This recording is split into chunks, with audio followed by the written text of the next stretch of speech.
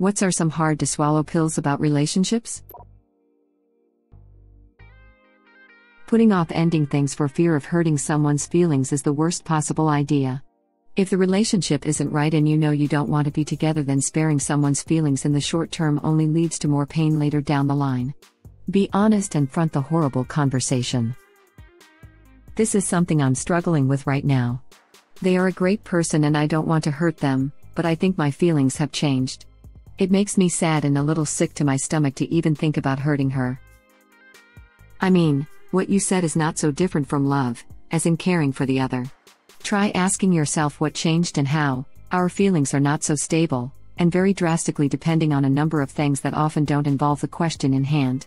The point in doing this is to be sure of what the issue is. Is the problem something about her? About another person, like falling in love with someone else? Or is the issue in the dynamics of the relationship? Or even in yourself? Then, you can either explain everything to her or break up.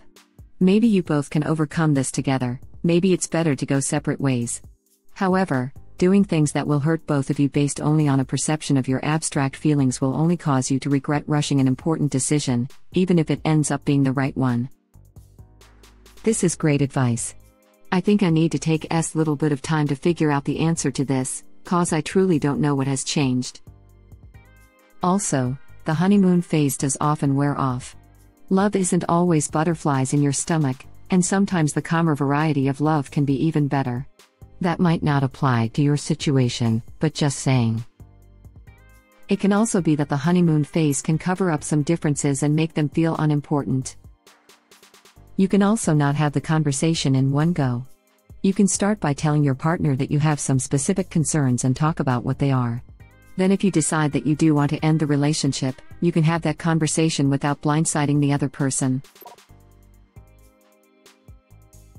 At a certain point, you have to accept some particular negative parts of your partner's personality or move on. My husband is almost 50. We've been married for over 20 years. While he will continue to experience personal growth, there are parts of his personality that are likely to not ever change. The same is true for myself, of course. In a good marriage, it helps to be a little deaf. Ruth Bader Ginsburg.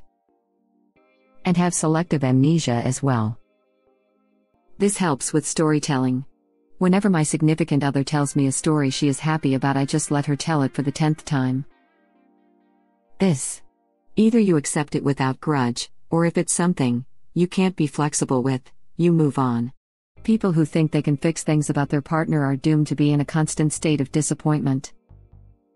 Unrelated, but it made me think arguments. It is bad taste to bring up resolved arguments and keep holding it over your partner's head, especially if you've forgiven them. If you're bringing it up, then you aren't over it and haven't forgiven them. My wife and I struggled with this. Particularly myself. Not that I wanted to hold things over her, but there was a certain pattern I was trying to bring out that was causing me friction. It was ineffective. What worked was validating the current feeling and being objective and not accusatory when I expressed mine. It has taken some time and we are not perfect, but we have not argued like we had before in at least two years. It took my husband and I a while to learn how to argue. Learning to trust that we were actually on each other's side even when angry or annoyed.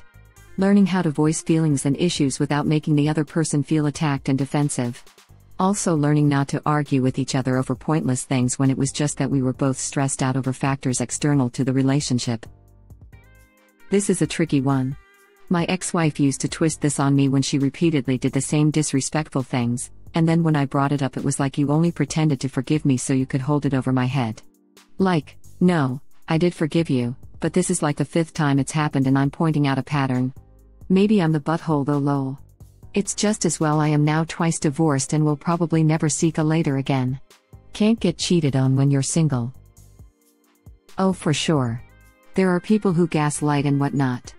The purpose of validating the feelings and not being accusatory is supposed to be a method to break a possible legitimate pattern by allowing each other to empathize with the other. This is exactly what has destroyed my current relationship. Unrealistic expectations, superficial forgiveness, hyper focusing on the negativity in general, and passive aggressive behavior. If you keep bringing up forgiven arguments, then they have not been forgiven. This is very true. My husband and I have a saying you knew what you were getting into.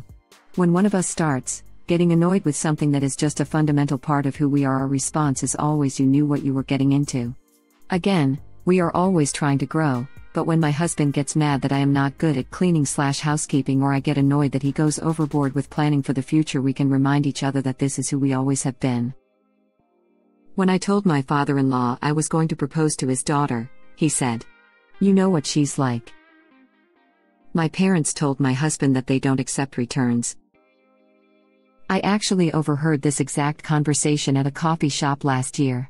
It was horrifying to listen to, but funny as an outsider lol. Yeah. My future father in law at one point said, I'm sure you've worked out by now that she can be a real bitch. Don't get me wrong, sometimes she can be beautiful. But sometimes it's just really hard to be around her. Pretty spot on, to be honest. This is very true. My husband and I have a saying you knew what you were getting into. My so and I have a similar phrase that we say, half jokingly, to like criticism. If you didn't want underscore, you wouldn't have gotten a boyfriend slash girlfriend. If you didn't want greasy handprints all over the house, you wouldn't have gotten a boyfriend. If you didn't want hair in your butt crack, you wouldn't have gotten a girlfriend.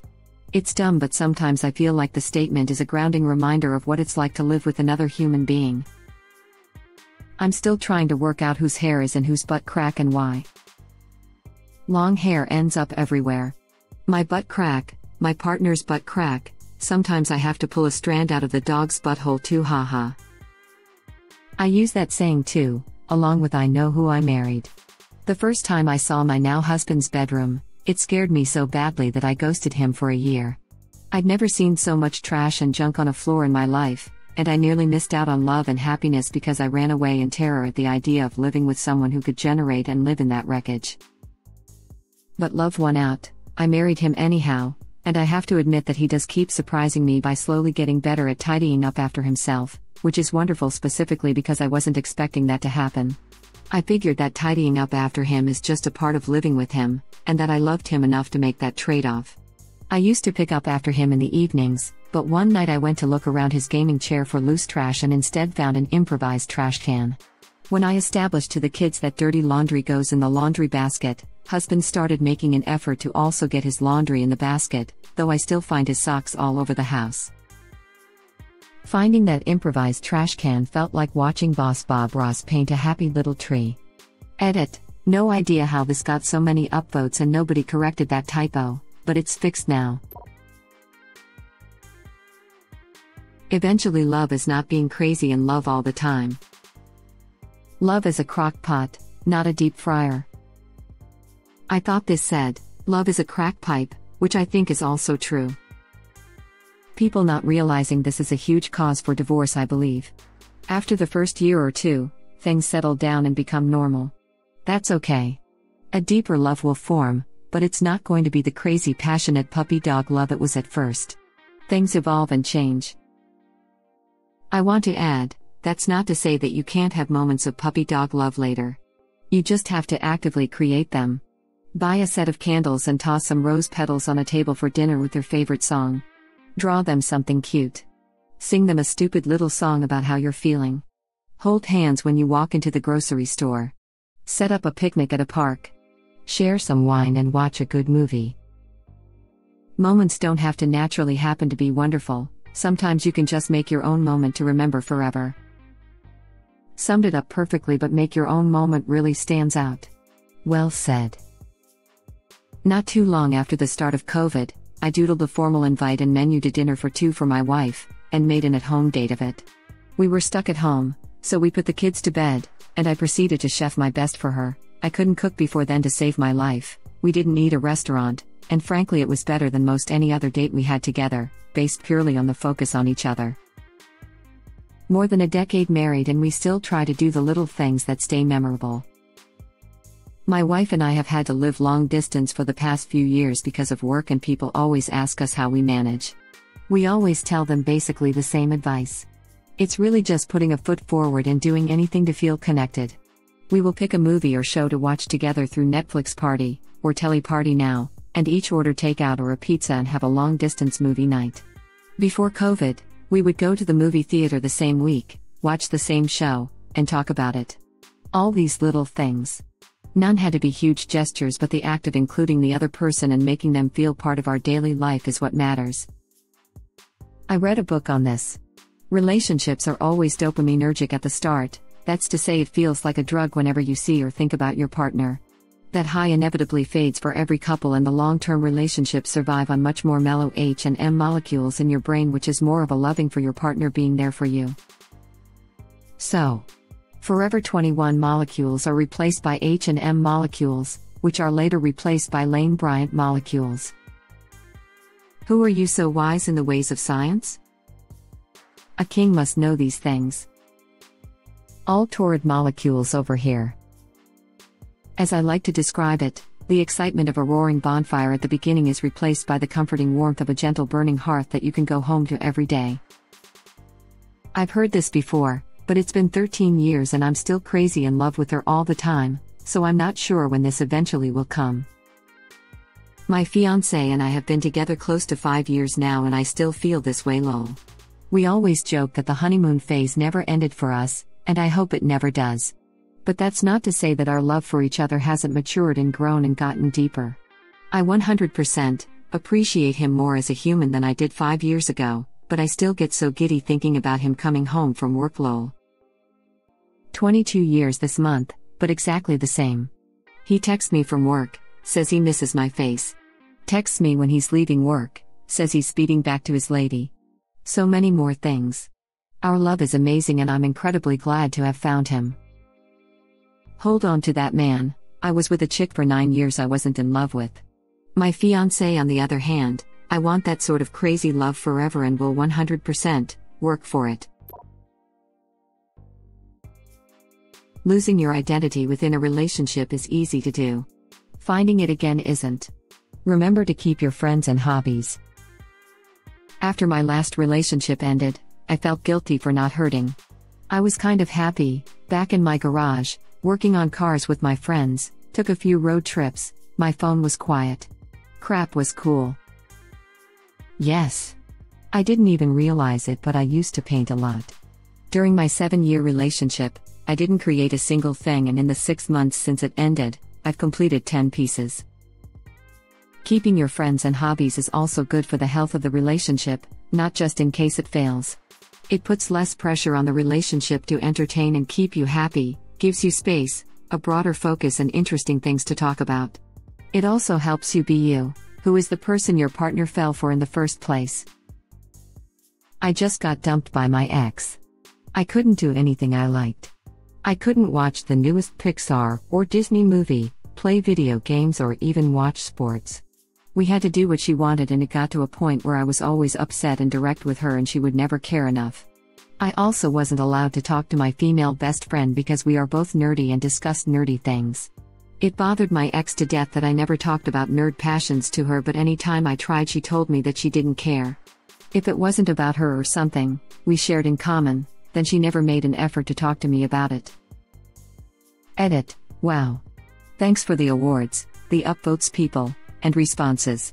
I didn't expect this to gain that traction. I also encourage anybody to seek a therapist in relationships. It's really been helping after the breakup. You could do everything right and still lose. God, this is hard to hear, my ex left me, and reading this after giving it my all for two years and having left nothing for myself hurts like hell. Dude, you got you left. In a good relationship, the other person adds to your happiness, doesn't become it. So while your ex is no longer in your life, you still got good old awesome you. Also, after leaving those relationships and experiencing better ones, the better ones don't require you to give it your all. They require you to be yourself, and yourself naturally wants to be your best for them. You got those to look forward to, which is nice. Sounds like you have quite a lot left for yourself. Probably the best phrasing of this I've seen yet. Well said.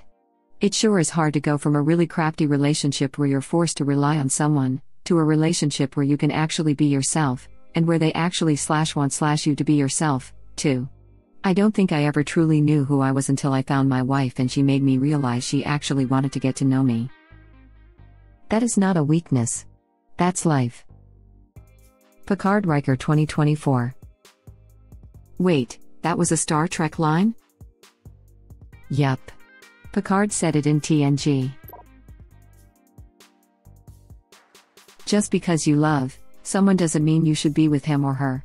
A relationship needs more than love. A person I know really needs to hear this. They insisted too much on being in something with me when I told them that it wasn't going to work. We wanted opposite types of relationships, that in the end it all ended pretty bad. Some people just think that love is going to make things magically work, without even considering that sometimes people that love each other are just incompatible to be together. Thank you, Hollywood, for programming us for decades to think a person you feel love for is automatically the best person to be with despite literally everything else. Thank you for watching. Please subscribe to be the first to know about Red Rabbit Reader's new videos. If you like our videos, please like them on YouTube and share them with your friends. We welcome your comments below. Press to start another of our videos.